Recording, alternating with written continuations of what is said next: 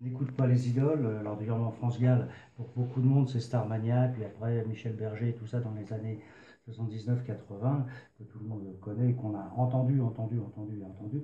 Donc là, ici, il s'agit du deuxième 45 tours de France Gall en 1964 un moment déjà.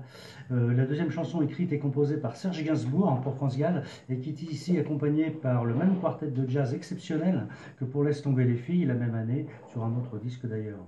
Au clavier, on avait Alain Goraguer, hein, qui a euh, quand même euh, joué avec Boris Vian, Jean Ferrat, Gainsbourg, Abdal Malik récemment, donc c'est des gens qui, jouent toujours. À la guitare, Léo Petit, qui a joué avec Ella Fitzgerald, Jacques Brel, Johnny Hallyday, Yves Montand.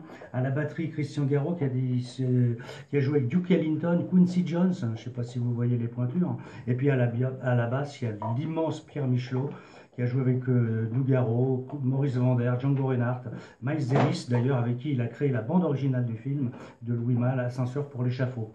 Donc c'était quand même des pointures, c'était un, quartet comme ça de, jazz excellent. Euh, dès ses premières chansons pour France Gall, naturellement, Serge Gainsbourg transgresse les limites du répertoire gentillet de la fillette chantante. N'écoute pas les idoles sous-entend que l'adolescente est déjà avertie des aventures amoureuses sans lendemain.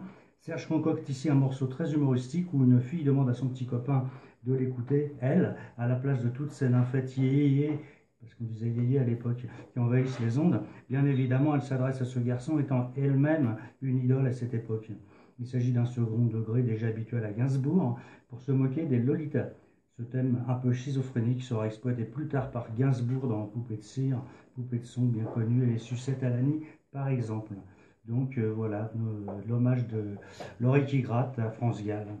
Ben merci pour cet hommage et d'avoir mis en lumière ce que Gainsbourg a pu lui écrire, parce que c'est vrai que Poupée de cire, Poupée de son, n'écoute pas les idoles ou Laisse tomber les filles.